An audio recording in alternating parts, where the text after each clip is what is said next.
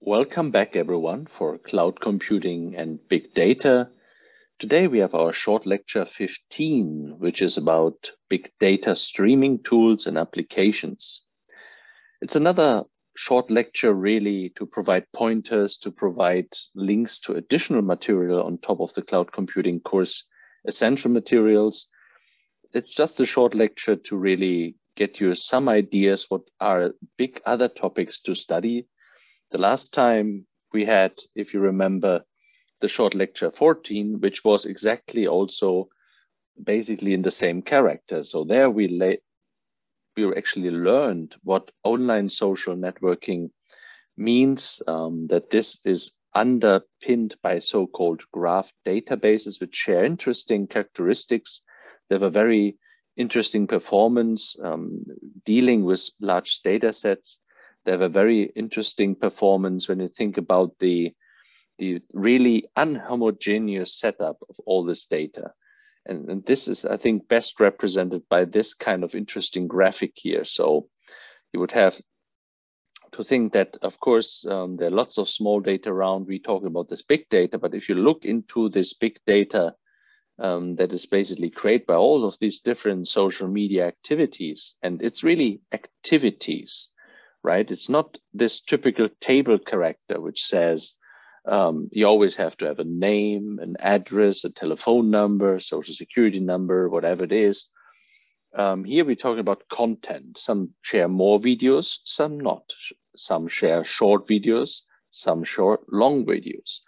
Um, in Twitter, some people are very silent and just want to see what others tweet.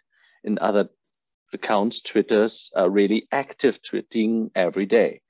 So you will come to a situation where basically the big data characterized by this single pillar here is essentially looking like that. So it's growing in all sorts of directions. It's very unhomogeneous. It's hard to predict where actually the next content will follow.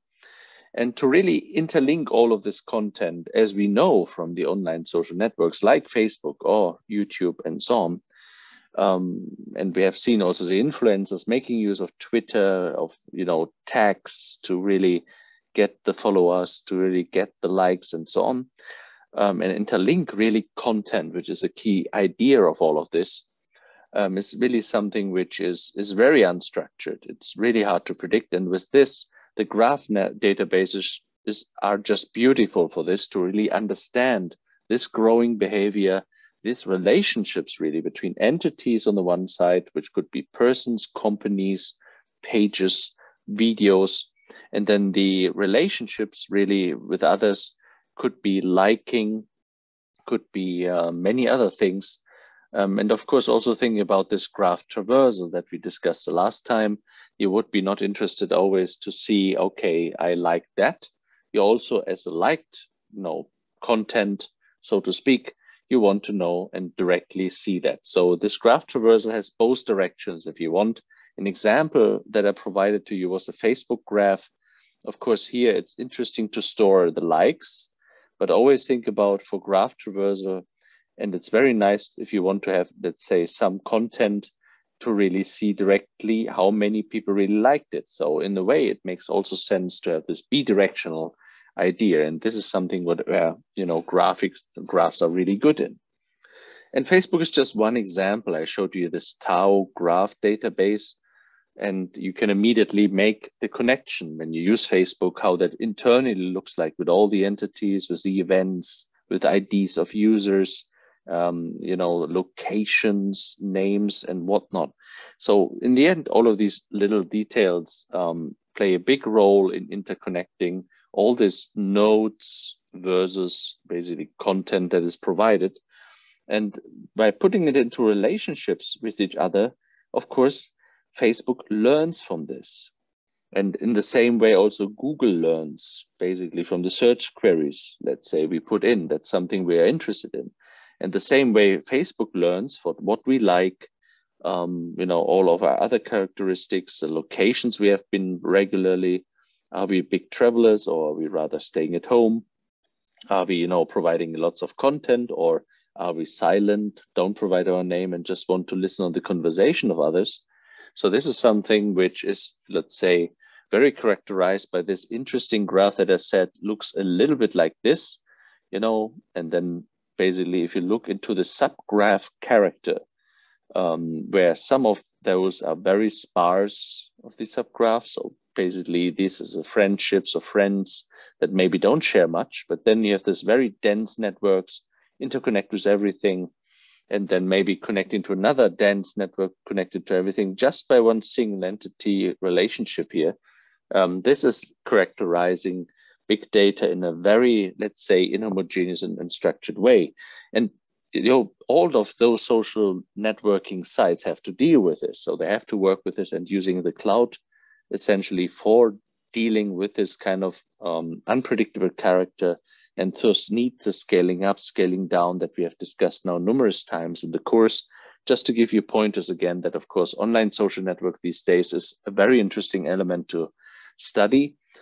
then of course, the other big topic would be graph databases to study because they are, let's say, not only relevant for online social networking, you can find them in many different application areas.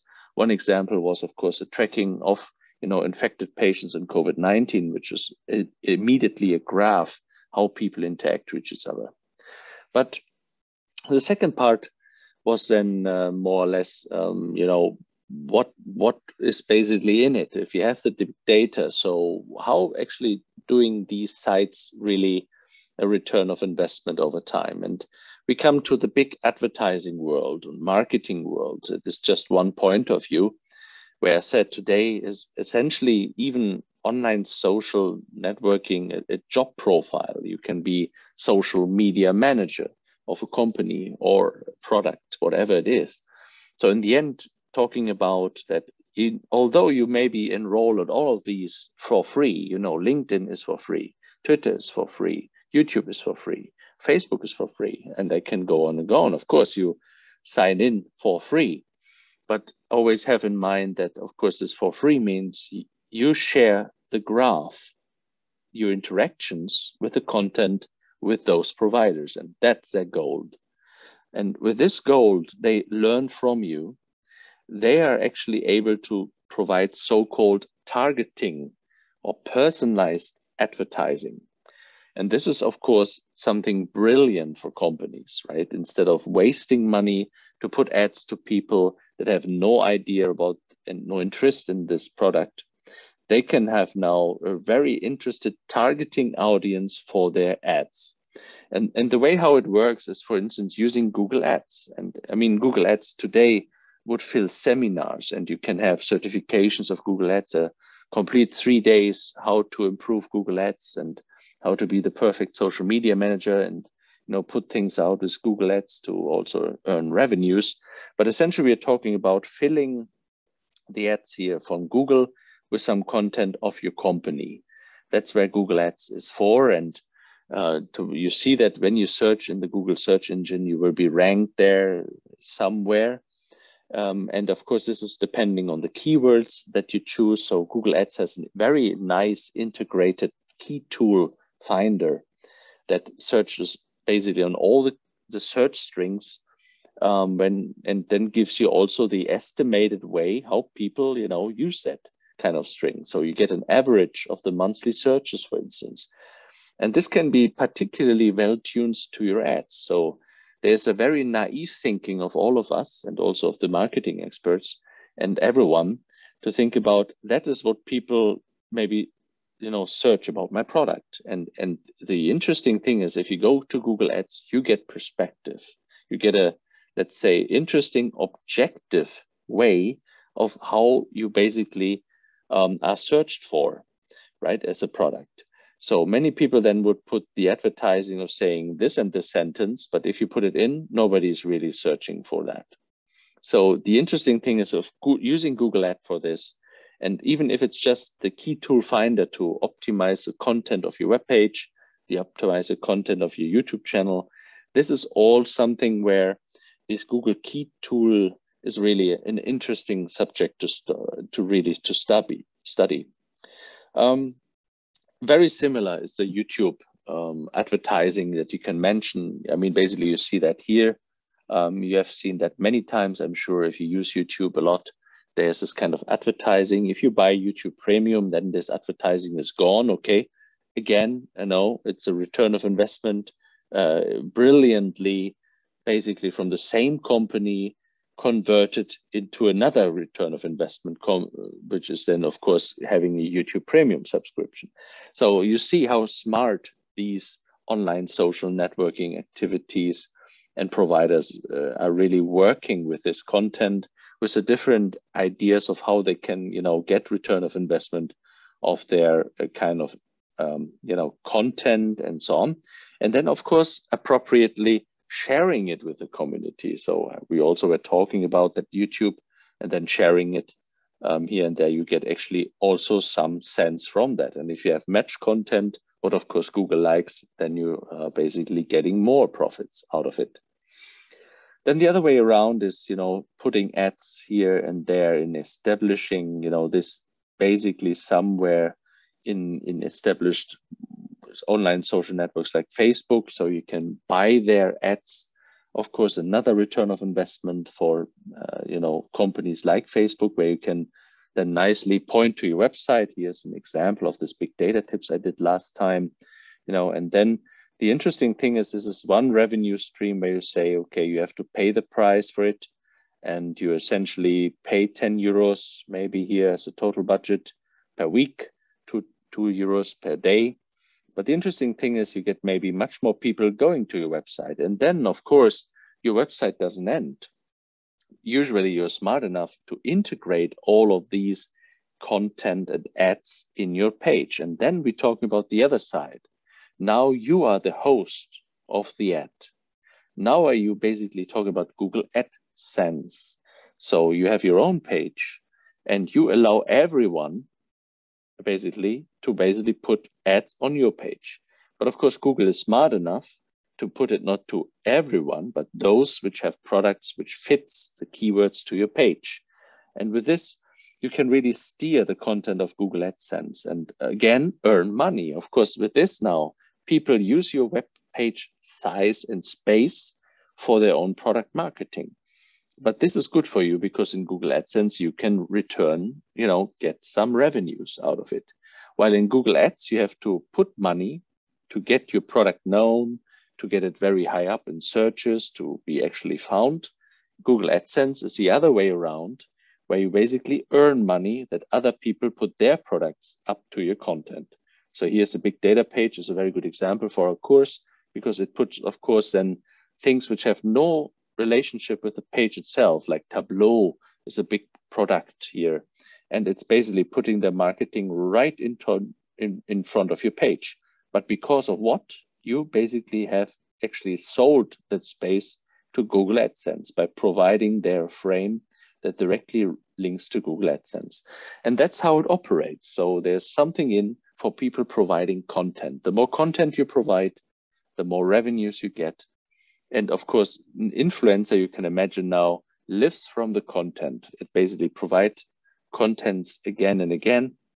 Um, you have seen this also basically with people doing it very successfully, just traveling around the world, doing very good high quality videos from Santorini, from Crete, from wherever you go in the world and then you share that on your YouTube channel. And many people watch that because it's so popular. It's so nice to see that. And by doing so, it's it's a different form of influencer, really. They do a lots of revenues. But of course, they influence the people to, to think about this as vacation scenarios. So the hotels are even maybe giving them a free stay over just to make very good drone movies from Santorini. Maybe if you know a little bit of Santorini on the cliffs, you can imagine uh, what that means. And then suddenly you have lots of people following it, looking on it on YouTube. And the interesting thing is those influencers then can use these revenue channels that I just explained here on their websites or basically directly via the YouTube, you know, uh, marketing that you get here um, back in their own pockets. And that's nowadays, interestingly enough, a job profile, an influencer as we have seen from the last Pringles and Singles video from lecture 14. But let's go to lecture 15, which is now really the last conceptual lecture I really want to point out here. Just because big data streaming is really on vogue, It is a big topic. We need a complete course to understand it properly.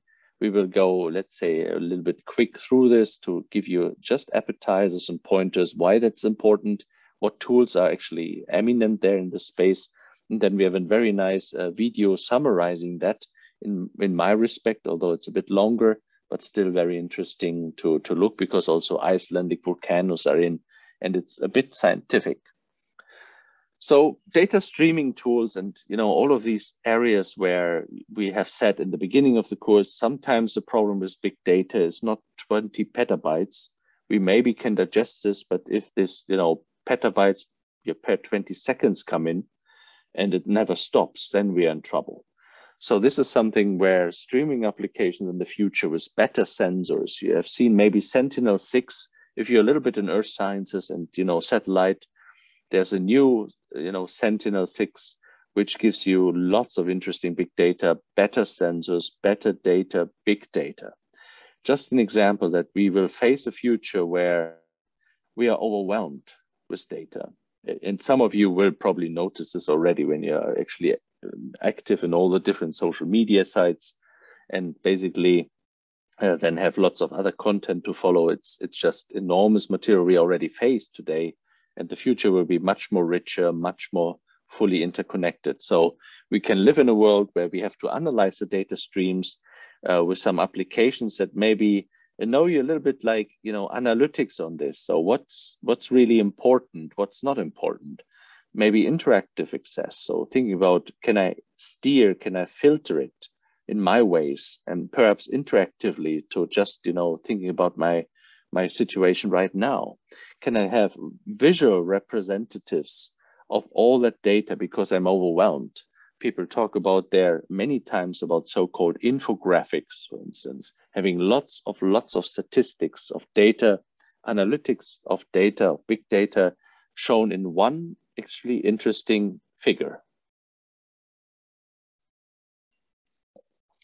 Then you go on and think about tools. So what tools are out there? And of course, we come back to Apache Spark, what we had at the beginning of the course as a fundamental tool. Of course, we also talked at that time, there's a streaming library that you can use. It's open source. And as we know, it's basically deployed usually on MS Azure, AWS, and Google Cloud platforms. So you immediately can use it also in the cloud providers. There's a very specific service in AWS Kinesis I would basically go quickly into, and then we'll go back to all the open source um, products and basically open source tools that are available there. And here and there do some social media examples, of course. Um, again, we think reflecting on the cloud um, and reflecting on Spark and what we discussed, sometimes the hardware matters, even if you have a very high level software as a service approach but he would talk about in-memory approaches and libraries, then a little bit of more bigger workflows to Apache Kafka. And basically another big topic would be, especially for machine learning, this online learning approach. And, and this is something which of course requires maybe three to four lectures to really fully understand. But here we talk about that the stream of data now, of course, enables us to continuously learn from data on the fly we don't have this static training and you know testing set that we know from previous lectures from us. Here we talk about a constant stream of data, how I handle this, how I work with this, and when I want to do it directly machine learning models out of it. It's a big topic called online learning, um, and we will put it into the context of our data streaming examples. So firstly, understanding data streams, uh, it's pretty obvious that there were web actions, you know, everything you do um, with a data stream, you like some things in social media. Then you would have um, data streams of measurement devices. Very early on in the course, we had already this one petabyte per 20 seconds or so from the SKA square kilometer array, which has really measured data. And in one respect, you can also see all the applications, the HPC and HGC simulations you do from astrophysics, from computational fluid dynamics, avalanches, which is, let's say, some threat for Iceland, is very well understood in this area with OpenFOAM simulations. We do more in the HPC course. But basically, these are all data sources as well. So there are different streams of data. And now what we also can characterize here as a conceptual view of this is um, you have this data sinks. So there's this data sources we just discussed and the data sinks that give you maybe a dashboard of sorts, which trains a machine learning model to understand if the measuring device is something found very new, which we can classify as something new, or basically visualizations, which are maybe interactive, where you can here, for instance, steer the location of the black hole and then change the interaction with the stars around it. Also, from the conceptual perspective here, one of our key considerations would be, what if? What if I can, you know, filter this information out? If I can reduce the amount of information of sorts? You see here, n optional filters are in the streams defined as something where we maybe can, you know, go into this data stream and do something with it. It could be many forms, um, could be just picking out certain events which really matter for us, while others maybe are unimportant. And these are really important factors to consider, especially in big data, because chances are in the future we cannot keep all the data anymore that is coming up from all these different simulations. And more or less very popular these days are also new types of data streams where you said we as a user put ourselves in the shoes of being a data provider. And I think the online social networking um, was exactly that in a way, if you think about it. So here we're talking about that we create, of course, lots of data streams.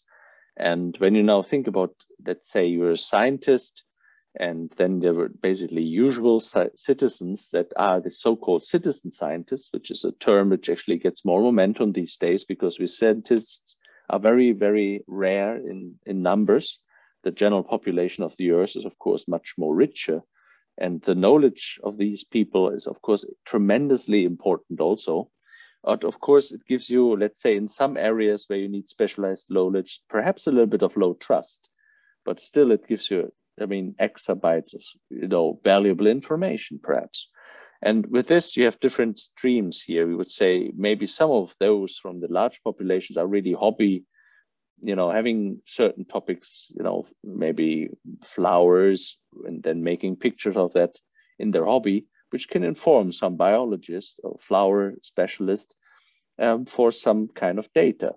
Of course, you would have always moderate trust in the data in this because it's not still the domain experts, but the sheer amount of information perhaps helps even those which are, let's say here, really the key experts. But you immediately see from the figures on the right-hand side, the, the practice in all of this is that the general population is rich. People that know something about specific topics very well are existing. But then the experts of the experts that know almost everything in this field are incredibly rare in our population. So in this sense, um, this is something called crowdsourcing, where you try to get the more general population or to the, the, the larger audience really to help your cause to really support here the scientific community as an example, but you have to see basically already perhaps heard about movies that people actually engaging in crowdsourcing of movie crowdfunding and so on. So this is an interesting new type of data stream that comes in. Also unpredictable, you never know who actually participates um, which is another factor in this, but still very valuable if you think about the sheer amount of data that you can get, get by all of these people. And the challenges, of course, with this, as I said, there's this moderate trust in the data. And trust is a very important word when it comes to data. Um, the quality control that goes with it um, also has a big impact on, on real content that you get out of this. I mean, we are in the end want to do something with the data streams. In one way or another, we maybe want to do machine learning models and learn something out of these data streams. We just don't look at it for fun, right? We want to do something. Sentiment analysis. Does, does someone like my product or not? When I have low trust in data, then we would call that perhaps a little bit like rubbish in the end. And then you put that in a classifier for machine learning and we call that rubbish in, rubbish out. So the trust in the data, the quality of the data matters.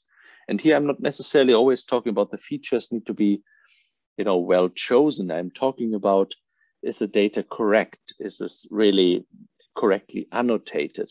Are there many missing values uh, and so forth? Um, this is a big topic in machine learning This is a big topic in data streams where basically lots of time goes into preparing, pre-processing the data, ensuring the quality is right. And um, this is, of course, something which is in, in all sorts of streams existing. So you would have error-prone measurements of, you know, basically sensor devices. You have the wrong, let's say, annotations from humans on data. And because it's so high volume and high velocity at the same time, this is a big challenge. And of course, here cloud computing again comes to the rescue, um, has of course capacity uh, from terms of storage, and then also basically the capability from computing to really work on these streams in almost real time. And now the the other part of this is um, now when you think about how we would put that in the light of content we discussed earlier, when you think about this persistent identifiers, it has more challenges than one.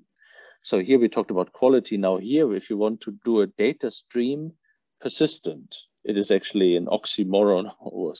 So basically you would say the data stream that we have here with some measurement data, you want to basically cite in a publication. But as this measurement device is continuously having the measurement device stream, um, our concepts that we have from the EOS cloud, if you remember, with B2Share, getting a persistent identifier, um, on this data set, on this, is, is relatively hard. So how do you reference really a real-time data stream that always comes in? And can we update unfinished data sets? So you don't want to have big publications on some unfinished data set. Um, and what about missing values in the future? So this is something where, you know, this PID assignment is quite challenging and shows you again that this big data streams is really a big subject to study and of course, it has also be remarkable ideas and enormous insights. So the uh, sheer idea of having something real time understood in the stream is, of course, very interesting. You can have, you know, things directly uh, maybe interacting with. Um, I'm talking here about more real time analytics. You can maybe steer back things that happening when you think about here your web actions, when you would have this continually data hidden in the log and you do analytics and so on, you immediately see, well, one of these pages is not really used. So you change the parameter on the web application. In other words, um, somewhere the content will be changed or things like that. Um, and you immediately go back to the data stream and change it, right? And this is an interesting interactive access um, character of those things where those interactive access enables you to give some action and have a response, give some action and having a response. The same is true with measurement devices. When you think about they measure data in a certain way, and then you would say that uh, actually my classifier cannot really handle those kind of features um, or angles or resolutions. So I maybe change this in the measurement device and get better data for it to make a better machine learning model. And perhaps best understood, you can imagine this interactive access when you have this data stream now actually simulating this galaxy here based on, of course, um, you know, known physical laws on this, on gravity, but then numerical methods over time and time steps. So every time step we get here an update of this visualization and the positioning of stars and this black hole in the middle and now you start in actually changing the orientation of stars, or you play with the black hole. You're actually moving the black hole around basically this visualization, which makes it then an interactive visualization, because of course the location of that has been now as a particle position be put back to the HPC system, and then it provides an updated simulations on the gravity on the stars. So this is a big topic, this real-time analytics. We talk in the HPC course also a bit more about this particular, also about this particle simulation we have here, just to show you how these data streams are interesting and have different challenges really in, in all different sorts of respects. So a good usage example we had a bit early in the course already where we talked about the Spark streaming. So Spark has a very good core, as we know, it's deployed everywhere in the clouds. So we can immediately use it for free with Spark streaming. It's an open source tool. Of course, you pay the infrastructure around it with MS Azure, you know, basically then paying the HDInsight. But still, um, you would have a tool which enables you very quick with a couple of lines of codes, very powerful ideas. here was the idea, you know, of basically looking at a Twitter channel on all the, you know, content that mentions Spark, but it could be your product that actually basically your company is interested in to check. So in, with just a couple of lines from the streaming API, you can actually count the, you know, the uh, elements, how many of those are. And then we know also, of course, with, um, you know, things like, you know, the things we learned with map reduce and word count, this can inform a lot of elements in your application. Perhaps also in advertising, marketing, what keywords go alongside. And the interesting thing is that those APIs are also then very fault tolerant. So they can deal with node crashes in times, which is very important to consider. So um, of course, when a stream is failing here and there, you want to carry on. The stream is constantly getting data out. So if you have a measurement device, it just doesn't stop just because your software is crashed or your node for analyzing it is crashed. So you quickly have to go up to speed. And as we learned, Apache Spark had this fault tolerance mechanism, which is quite interesting here. And it also enables you, of course, to do basically interactive queries and filters that we have just conceptually discussed. So very powerful tool. You can deploy it as an example, as we know from previous lecture, the MS Azure cloud. Um, I think that's pretty clear by now. You can deploy it in the EMR, in the Elastic MapReduce Hadoop environment, which supports Spark. And with this, automatically the Spark streaming API. Now, coming a little bit to a, let's say, very specific service in the AWS world. Here we're talking again about real-time analytics, and it's a specific service called Amazon Kinesis. And you see they have many services here for the analysis of uh, data streams, for data itself. But this is perhaps a little bit very specific to data streams when you think about real-time analytics. So that's why it's maybe very good to go shortly into this. And it, it of course is used for, for many different purposes. Netflix is using it, for instance, to, to actually just look at all the communication streams um, which comes in and basically fix lots of issues and problems where it's basically um, saying that, well, my, my Netflix movie is not coming up, although I paid for it. My bandwidth should be okay. My router should be okay. What's the problem? So this is something where lots of these streams from constantly users complaining, perhaps also praising products, is of course a very good application scenario. Netflix is just beautiful on it. If you can imagine that has many, many users, many, many content, and here you can comment and uh, you know, using this kind of data stream really to um, think about it. Um, a very usual way of using it would be also if you think about you are a company and where Amazon Kinesis is quite good is to link in different data sources here. You see the input could be social media streams into this from Facebook, from Twitter, from YouTube, from Instagram, from whatever it is, and bring that all together, all these different data streams, which is basically part of this Kinesis idea, and then do this so-called Kinesis data analysis on top, which then can do basically really work on the data set um, in real time. And then, of course, there are different services what you can use afterwards, like this AWS Lambda for post-processing and so on to write it really in a proper database to understand your stream and in a way to transform the stream to some proper output which is perhaps not any more directly a stream, but a proper output in some point in time. As this is basically theoretically never stopping, you here would be basically transforming it in a world which is a bit stopping in terms of new data. But of course, you think about that this pipeline here, what you really have, it's a pipeline in sorts of steps is constantly executed and creating new output all the time. And there are different application and use case scenarios. Um, Netflix with video streams, data streams, uh, and so on is, of course, a big good example of this, but could be also measurement devices. It could be video streams, right? Think about you have your own security camera in the company with all the access um, that you basically have there. And then you want to analyze those different video streams. Um, do you want to do recognition of, you know, people? Do you want to have recognition of malicious behavior? Do you want to perhaps also think about um, that maybe some of your products, when you make videos in the pipeline, when you're constructing it, have manufacturing errors. So all of these different elements could be actually used in order to essentially then enable, you know, to handle these streams, to really work with this. And this is where Kinesis and AWS is very strong in, to really think about, um, you know, working with the streams, particularly focused here on videos, um, to really index the content, to have real-time batch analysis on this content that it could be used for, you know, basically different deep learning networks or the SageMaker we already had and so forth. And of course, this could be different scenarios you see here.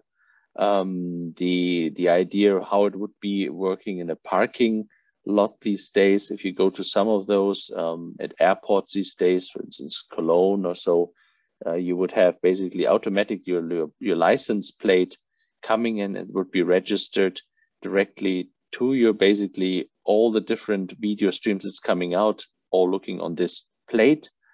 And then essentially with this matching of the license plate, um, you can basically open directly uh, again directly basically open the doors of the parking places. So that's one just one good example of it.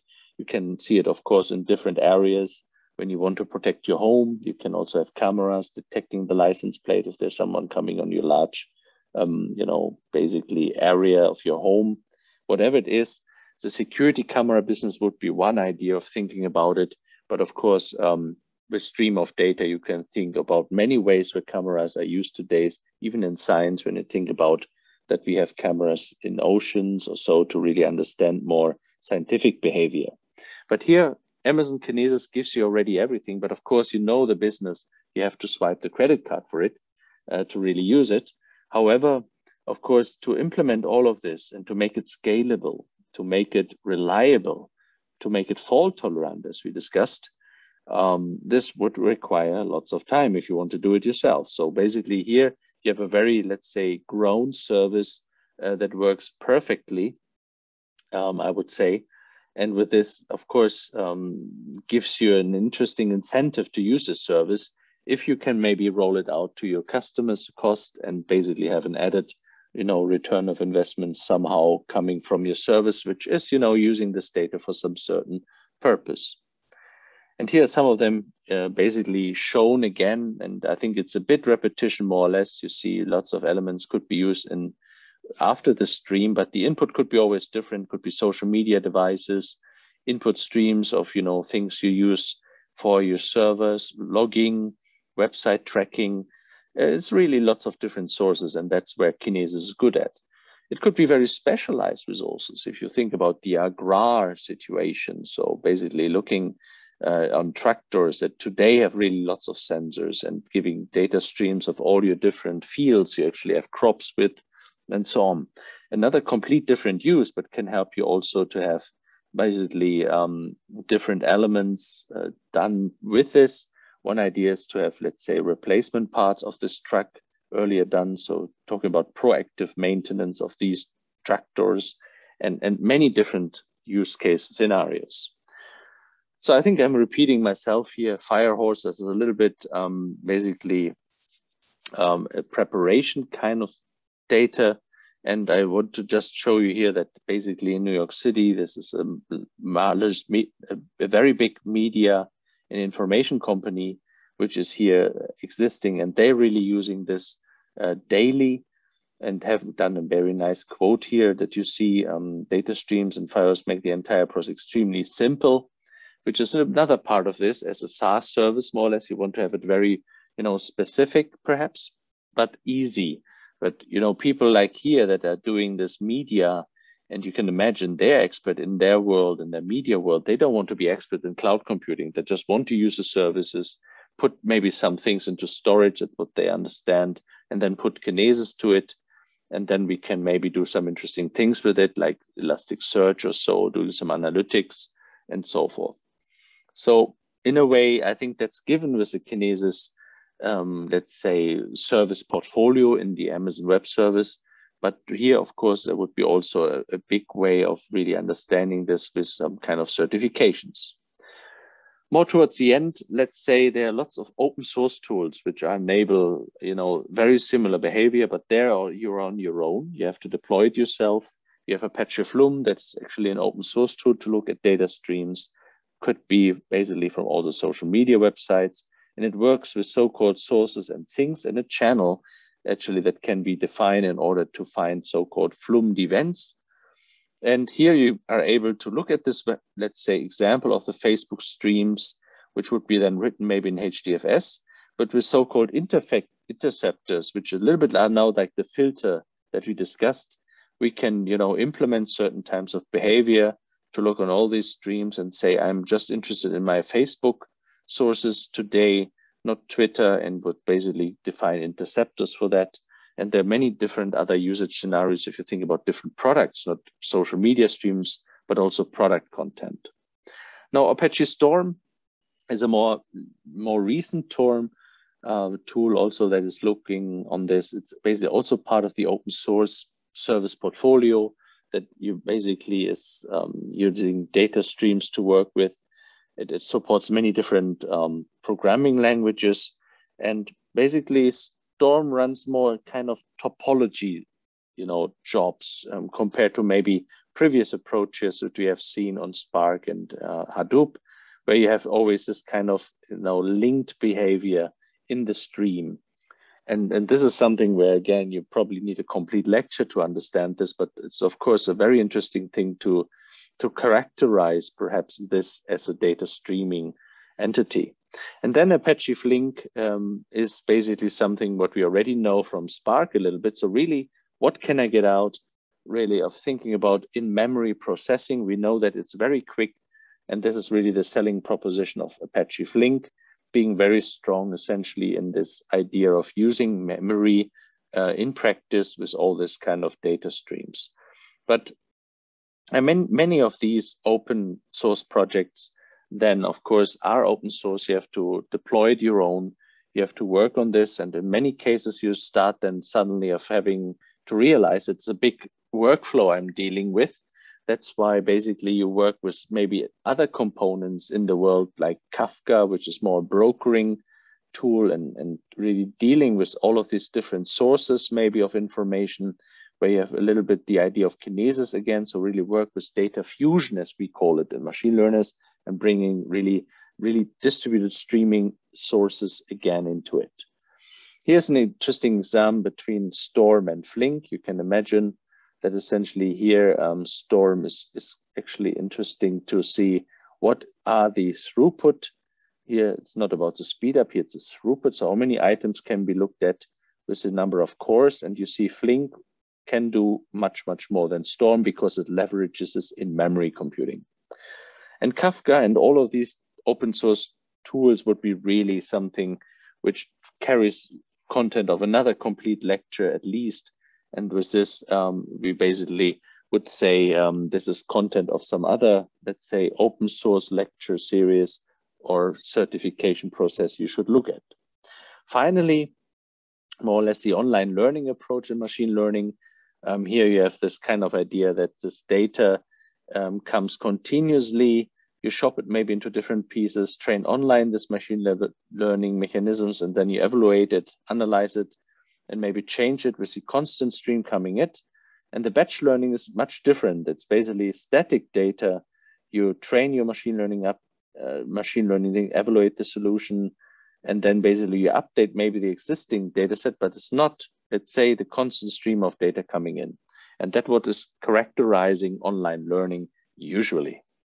Also, this is a big field to study. Online learning is, of course, still a research idea, but of course, very interesting to think about because also there you could be real-time insights directly. And then, of course, having the use the power of machine learning on top of this in real time, having uh, actually models trained directly informing decision makers or let's say your company bosses about certain effects in the data or you know outliers and and so forth I have another video which is quite interesting, um, which is actually the, light, the last video of this course.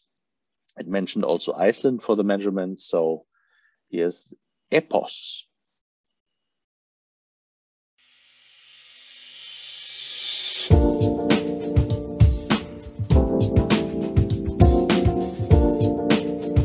A key feature of environmental science is integration. What is EPOS? EPOS uh, is a long-term integration plan. Earth science research allows the understanding of the physical processes controlling earthquakes, volcanic eruptions, unrest episodes, and tsunamis. EPOS is integrating existing research infrastructures and facilities.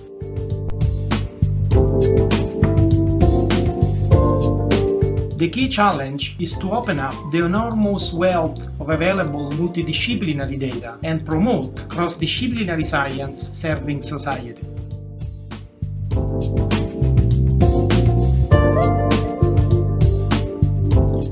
EPOS can apply to different use cases.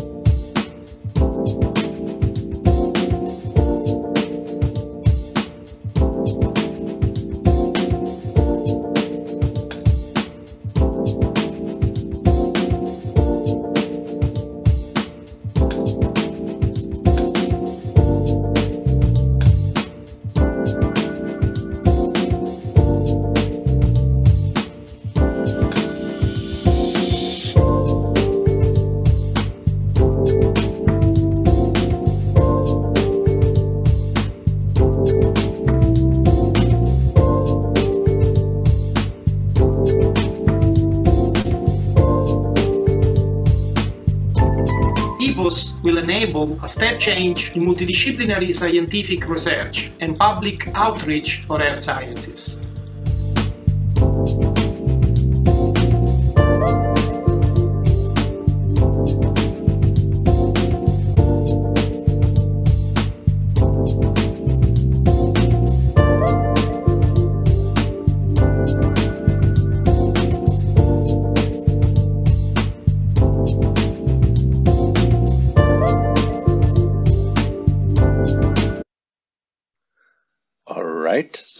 Think you have also seen data from all the seismic devices, also the data we provide now with the new volcano that we have in Iceland is tremendous, um, alone from the satellite images that have been taken um, on a daily basis, actually, but also in older times with Eyjafjallajökull.